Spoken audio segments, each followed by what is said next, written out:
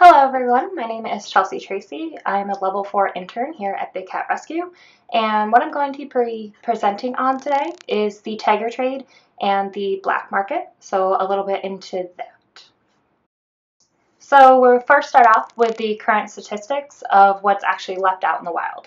So the World Wildlife Foundation has estimated after a century of constant decline, the number of wild tigers is on the rise. So, according to the most recent data, at least 3,890 tigers now exist in the wild, and that's up from an estimated 3,200 in 2010. That still is not a lot of tigers left in the wild, and in 1990 they estimated there was only about 100,000 tigers, so you can see how great of a decline that has actually been. So we'll first start out talking about what are the species of tigers left in the wild. So the first is the Bengal tiger, and they're the most uh, numerous tiger species, with its remaining wild population estimated at about 2,500. They are uh, primarily found in parts of India, Nepal, Bhutan, and Bangladesh. And then there's the Indo-Chinese tiger, and they're located in Thailand, Cambodia, China, Laos, Myanmar, and Vietnam. The population of this subspecies has fallen by more than 70% in slightly more than a decade, and the total population of Indo-Chinese tigers is estimated at fewer than 300 individuals. The Malayan tiger are found only in the Malay Peninsula and the southern tip of Thailand, and that's thought to have remaining 500 Malayan tigers left in the wild. The Siberian tiger or Amur tiger, is found mainly in Russia Far East. It's estimated there are around 300 Siberian tigers in this region, with a small pocket of Siberian tigers in China and North Korea. Then there's the South China tigers, and those are the most critically endangered. Little is known about their exact numbers in the wild, but some have estimated they would put the number at under 20 tigers.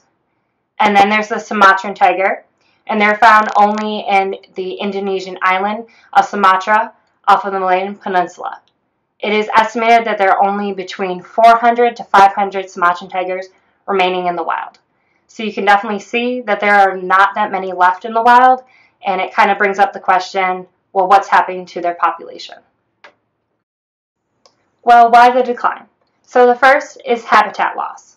93% of Tiger's historical range has been lost due to deforestation for agriculture and for the timber industry. Also, when road networks and development activities begin, they have a risk of creating small island like habitats that tigers cannot manage to survive well in, leading them to becoming more vulnerable for poaching. How this happens is that a poacher can go into a small island.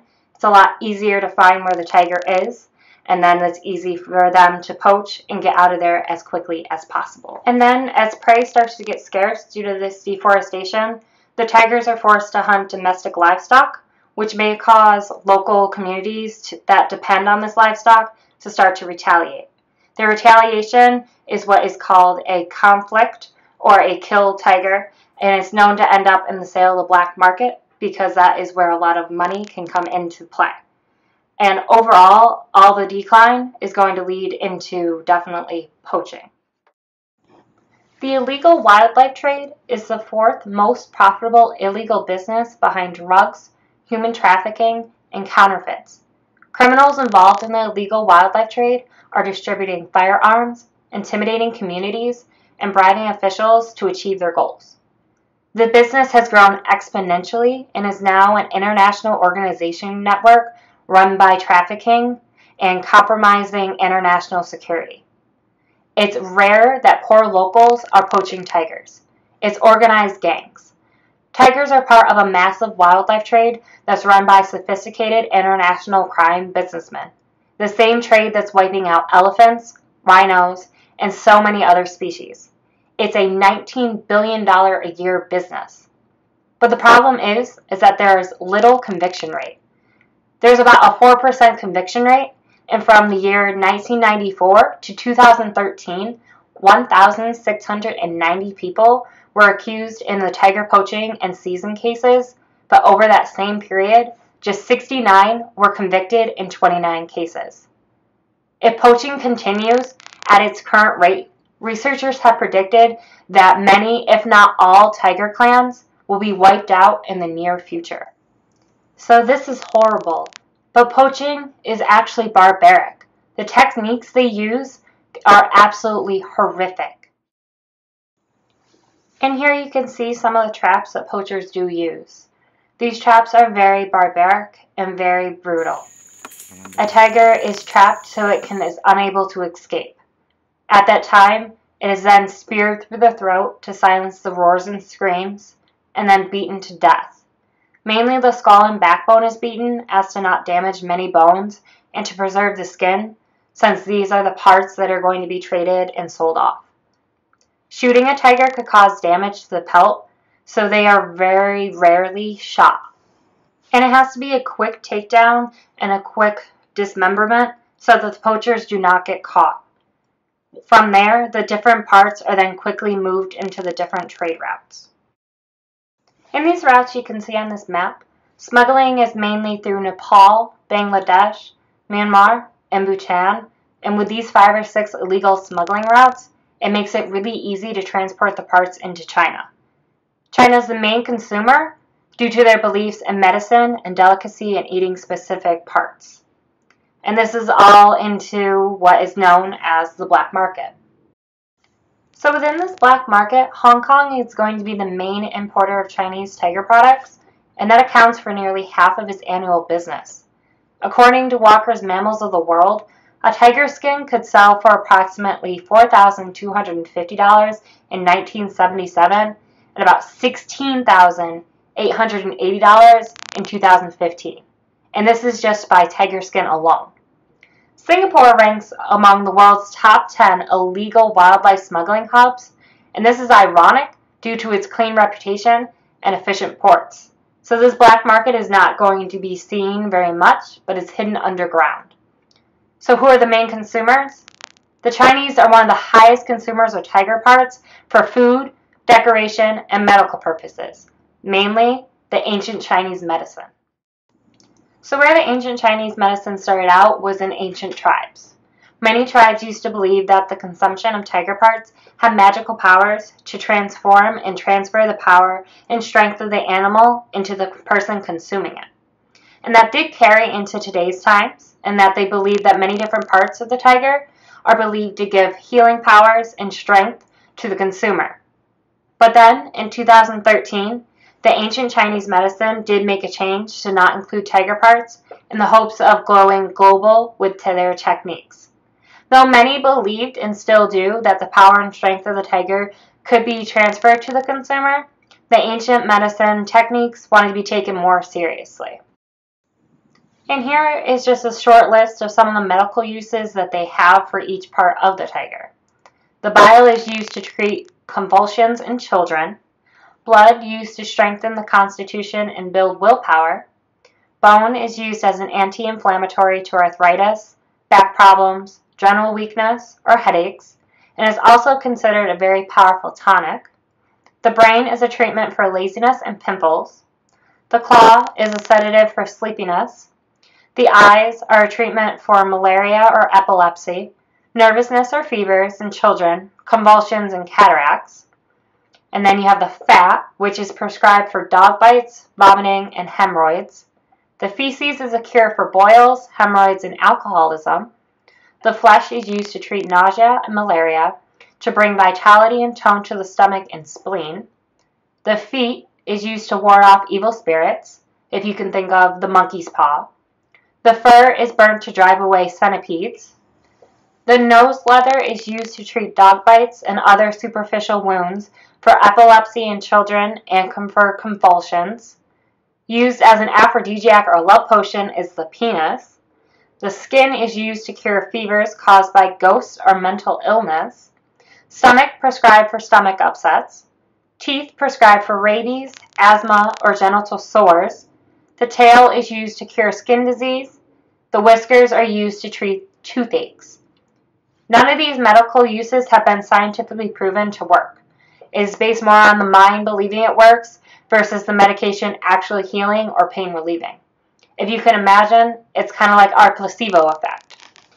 But overall, the one that is the most seen in the medical uses is going to be the bone, most commonly known as tiger bone wine.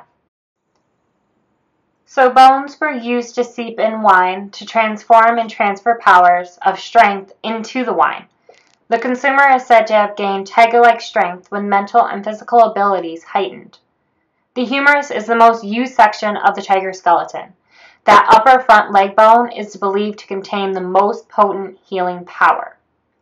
In 1993, the use of tiger bones in wine was outlawed from China's approved medicines, but it still continues to be used, but labeled as something different. You can see on the picture that I put that is tiger bone wine, but under its own classification, it is said to not contain tiger bones, but instead another curing agent.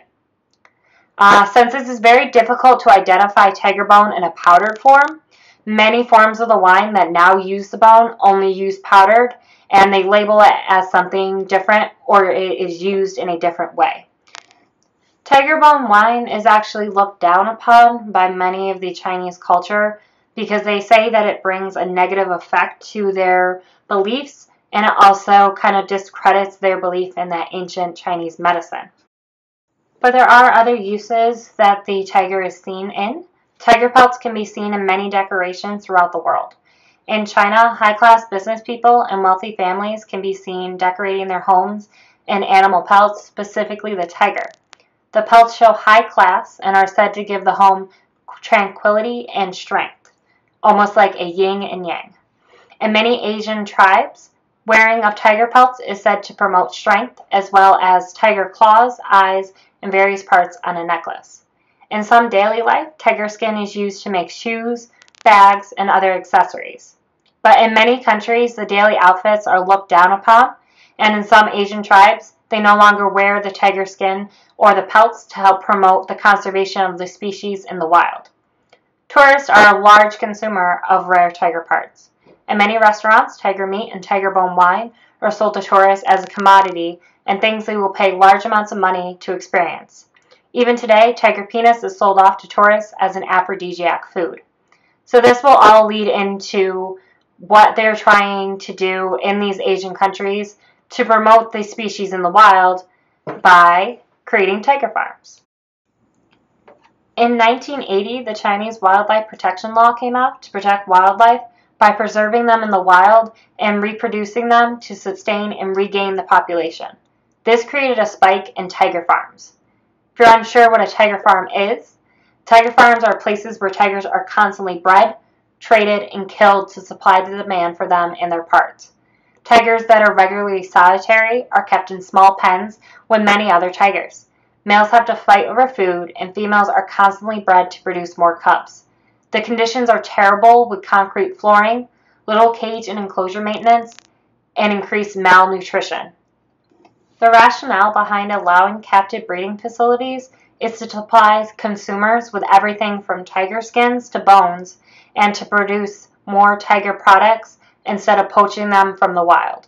The argument here is that captive breeding actually serves conservation purposes, but sadly, the population of captive tigers persists for one sole purpose, and that is to supply China with tiger parts. In China, the State Forestry Administration has even invested money into tiger farms.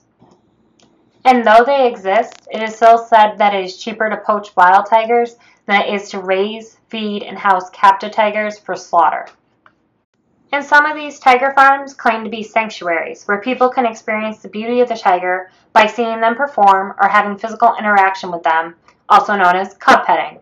The revenue they gain from these interactions help to keep the farming and breeding going. And this kind of leads into what is America's role in all of this tiger poaching, farming, and black market. In America, there is little consumption of tiger meat, bones, or organs, but there is private ownership and cub petting of tigers. The demand for live tigers in the United States is high, and the amount of tourism that builds off the cub petting industry and the exotic animal pet trade makes the market boom. We cannot tell another country their practices are wrong or barbaric when in our own we glorify the trade of the tiger. A large amount of tourists who consume the rare dishes consisting of tiger parts are American. But there is a change, and in current times, we can move toward a better solution. In 2014, tiger farming was brought up at the Convention on International Trade in Endangered Species of Wild Fauna and Flora meeting, and a working group about the topic was formed. Countries where tigers are found in the wild, such as China, India, and Bangladesh, have made a commitment to double their numbers by 2022, also known as the Year of the Tiger in the Chinese calendar. They call it T times T. But following through on this pledge will be very hard for these countries, but conservation groups are trying to put pressure on them to force them to keep their word. And public knowledge of the problem and cracking down on poaching. The more that the public knows about this problem, the more that the word can be spread about how much of an issue this is and how poaching is so barbaric. Whenever we go out and we give tours, we are informing the public about one, not only the tiger trade, but two, the private ownership in our own country. And this is where you guys come into play. You are a huge part of getting the word out there and letting people know that this is a problem and it's something they can do to help. By passing the Big Cat Public Safety Act and getting a federal ban on the private ownership of big cats in the United States, we can start to show that the demand for tigers is no longer needed and the conservation of wild tigers is our main focus. Once we can show that the United States doesn't have to trade tigers, then we can speak to other countries about making a change on their beliefs too. There's a club that colleges have. It's called Tigers for Tigers. It's mainly going to be found in ones that have tigers as their mascot. And they're a club that is trying to help conserve and promote the conservation of tigers in the wild. They do have a website that you can log onto, and it gives information about people can help. It gives information about also joining Tigers for Tigers. But definitely, the more information you know, the more you can spread to the public about the awareness of the problem. Be active and spread the word. Anytime that there are tours that go out and you are speaking to the public, you are talking to at least one person out there who will tell another person. The expression, the squeaky wheel gets the grease, it's definitely going to apply. Never feel like just because you're one voice in a sea of others that you aren't heard. You can be that change, and by just spreading the word, the more the public will know. More recently, Tiger Temple has been shut down. They are one of the world's largest tourist attractions, and it has been seen that they had tiger cubs in their freezers. With this public knowledge and with everything coming out about them, the more awareness we can spread. You are a voice and you will be heard. Big Cat Rescue has been that small voice in a huge sea of others, and we have been trying to get that change. So go out and promote the most you can. And thank you for listening to my presentation. And in the tiger trade, the eyes of the world are watching.